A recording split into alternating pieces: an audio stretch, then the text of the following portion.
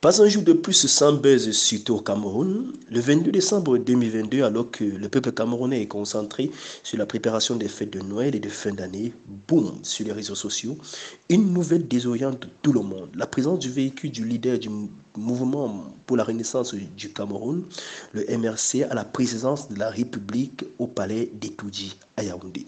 Ce sont les clichés pris sur les lieux qui font taire même les plus sceptiques.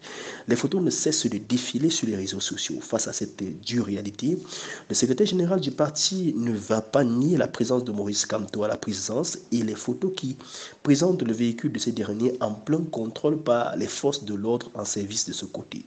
Il apportera quelques éléments qui expliquent la présence de son leader au palais d'Etoudi à Yaoundé. Il en ressort du communiqué de maître Christophe Ndonveux, le secrétaire général du MRC, que Maurice Kamto s'est rendu dans la journée du 22 décembre 2022 à la présidence de la République, non pour des raisons personnelles ni politiques ou encore relatives à des affaires intérieures du pays. Il précise que l'ancien candidat à la présidence de la République en 2018 a été reçu normalement. Le courrier qu'il transportait a reçu une décharge et ce courrier portait sur un sujet sensible d'intérêt national. Pour conclure, le patron de l'administration du mouvement pour la renaissance du Cameroun conclut en disant que seuls ceux qui ont pris des photos de son véhicule, les diffusent sur les réseaux sociaux et orchestrent un mensonge puéril sur ce déplacement savent ce qu'ils font. La politique politicienne s'arrête là où l'intérêt national est en jeu. Cette envie n'est pas partagée par tous. Plusieurs voient dans le déplacement de Maurice Kamto une sorte de trahison vis-à-vis de ses partisans et du peuple camerounais qui, pour certains, ont mis toute leur confiance dans ce parti politique. Pour Célestin Djamen, ancien allié du mouvement pour la renaissance du Cameroun, euh, il se pose la question de savoir comment un président qui dit avoir été élu demande une audience à un président non élu et dont il ne cesse de contester la légitimité.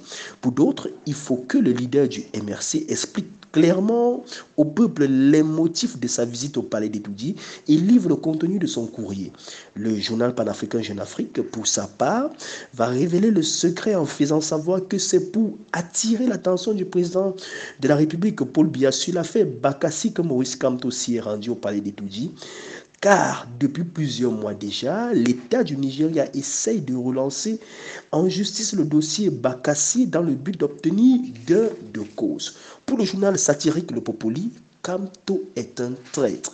On peut le voir en image, couché sur le même lit que Paul Biya, en petite tenue et promettant avec son haut-parleur au peuple qui ne les trahirait jamais. Le même journal, le Populi, sur l'affaire Bakassi, tel que révélé par Jeune Afrique comme raison, trouve son motif maigre et titre dans son édition du 29 décembre 2022 Faux prétexte. De l'autre côté, pour les fervents défenseurs et partisans de Kamto, la présidence de la République est un service public comme n'importe lequel des ministères ou des administrations publiques. Ainsi va la République.